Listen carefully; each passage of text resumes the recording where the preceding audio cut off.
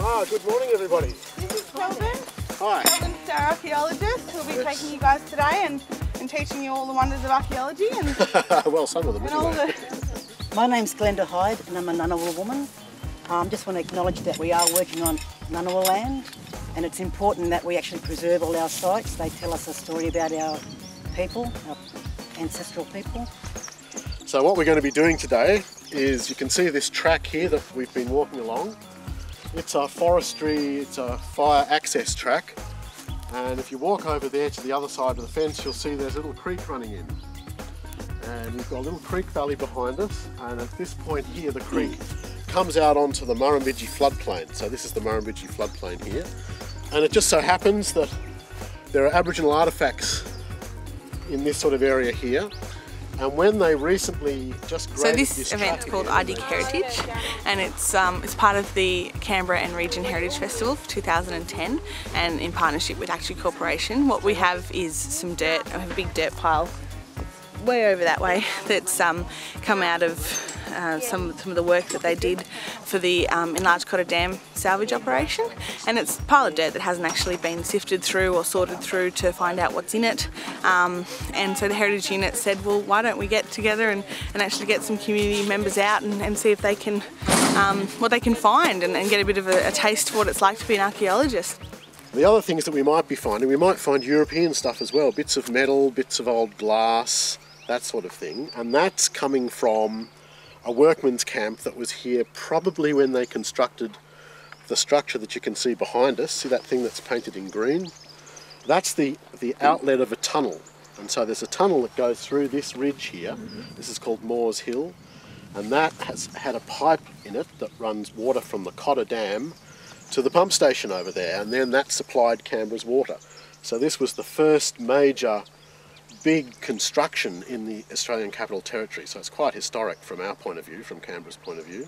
Um, I manage four Aboriginal business groups who work alongside Kelvin Officer and they um, are registered with the Heritage Unit and they um, collect all the artefacts. So this is like their workstation that they work.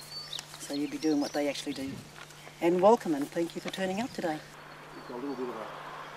In Canberra, you will find artefacts because they are actually all over the place.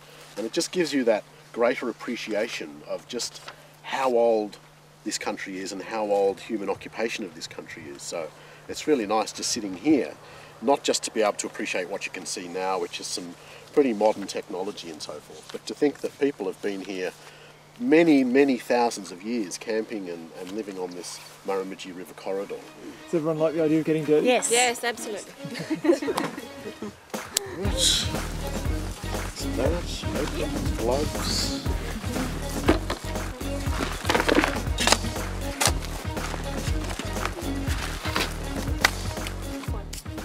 is a big one. This one, this one's been made from a, a river cobble.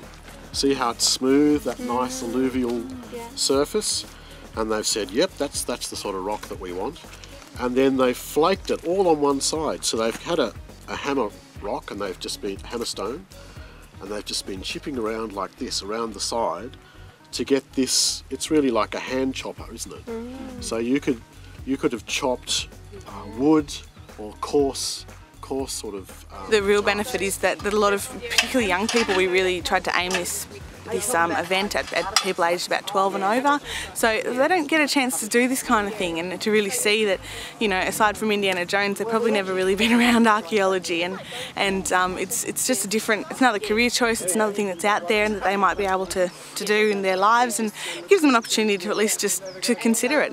That's called the bulb of percussion, and most flakes have it.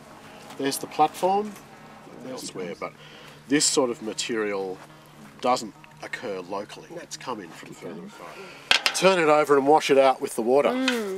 Uh, and you can you can do that on the ground. That's no problem. But if you bash it against the ladder, You'll learn it. you get this. Just the water circulated around like that.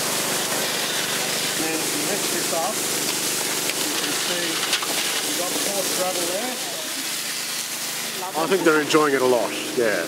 Once we get over bursting the illusion that we're all Indiana Jones and we've got large tomb balls chasing after us and uh, we've got the funnel webs maybe, but that's about it. but apart from that, once you get stuck into the reality of it, it's actually much more interesting than the films. And uh, yeah, I think they're all really enjoying themselves. We found, uh, what did we find, Nissa? A piece of glass? That's about it for the moment. No, it was a bit like gold panning, isn't it? It'd be gold. It'd be gold if we found something good.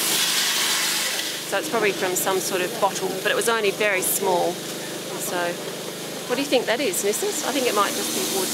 Yeah. Tip it over, like that. So that's a bit of quartz, but see how it's chunky? Yeah, just just uh, I'm Jasmine Foxley and I'm a Heritage Policy Officer with the ACT Heritage Unit. We are responsible for um, en- well, enforcing the ACT Heritage Act. We receive his reports and review his reports and work quite closely with uh, Kelvin and his archaeologists as well as the representative Aboriginal organisations. We found some good artefacts. We've got, uh, I like the tobacco tins, yeah, that was indicative of the workers uh, at the at the campsite here, and uh, yeah, bone and glass. Oh, that's the. Uh, it looks like the end of a of a square medicine bottle, something like that. It's amazing how enthusiastic you can get about dirt. I better let you The thing is, you never know what's going to come out of the next bucket. Just a naturally interesting thing, you know, to find out what was here before and just to get that time depth from the landscape that you're in rather than just living in the present, to actually know that there's been people here for thousands of years. Uh, and even just in 1915, when the workmen were here, their world was quite different to the one we live in now. And it's nice to just get a little window into that from the artefacts we, we've been uh, uncovering today. What have we got here? That's right. you know, in the future when we're building our next dam for Canberra, for example, some of these kids might be the ones that are coming out to, to do the dig for us. So um, it's, it's kind of it's an exciting thing for us to be able to, to give them the opportunity.